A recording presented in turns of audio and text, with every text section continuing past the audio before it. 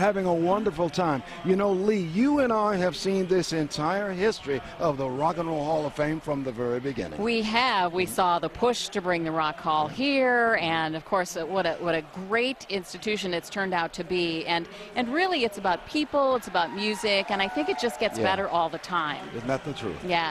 Well, you know, Leon, a major piece of Cleveland's rock and roll history truly belongs to the Agora Ballroom.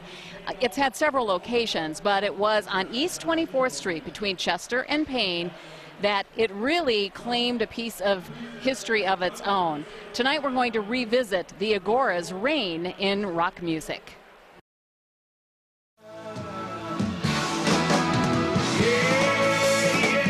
The Agora was the pinnacle, the total pinnacle of the club scene. I mean, it was, you know, that was, it was the gold standard.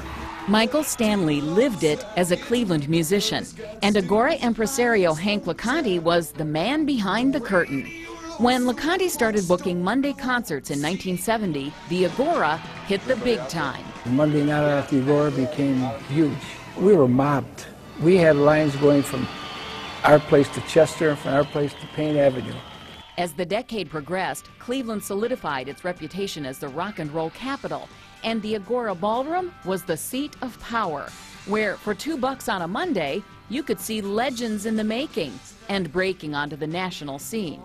Peter Frampton, Robin Trower. Robin Trower opening for $2. I had uh, Ted Nugent, Bob Seger opening for $2. I saw Springsteen there, I saw the police there, the Ramones there, you know, everybody in between. It was just, um, as you said before, I mean, you would just went down to see who was there. It might not even be a type of music that you were totally drawn to, but it's like, well, this is Monday, and we go to the Agora. You know, it was, it was a regular thing. The Michael Stanley Band debuted at the Agora. It was a stage that opened a lot of doors for bands because of a mutually beneficial relationship between the Agora and radio rock powerhouse WMMS. It was a great time to be in a band. Was a great time for radio. It was a great time for live music scene club-wise. It all kind of came together, this perfect storm. There was a whole network of clubs around the country that you had to play. You had to play that if you were going to if you were going to get anywhere in that city.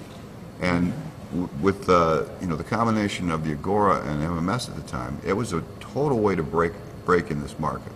If you had if you could do well at the Agora and you got MMS behind you, you were going to be successful in the market if you were any good.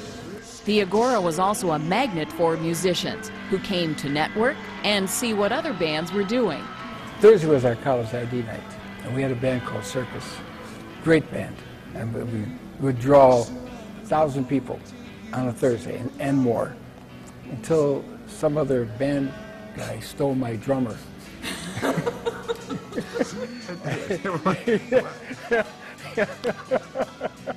Did you coach the circus drummer? I Yes, he- did. yes, and, he and, and did. and thereby, you know, infuriating not only the band, but their crowd as well, and uh, losing them forever. It was a heady time that will never be duplicated.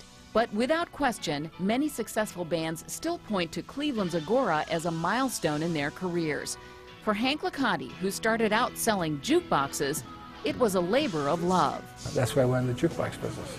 I used to have all the records from all the greats. And uh, it, it was, I loved to watch a band create something and go to the next level. Uh, Michael did that. It was a great place to to grow, and he let you grow. He let you grow. He let you grow an audience, and and he let you know supported you in that. And that was not a that wasn't a necessarily normal thing in, in most cities. So, as Cleveland musicians, we were incredibly lucky to have Hank be the forefront of the whole thing.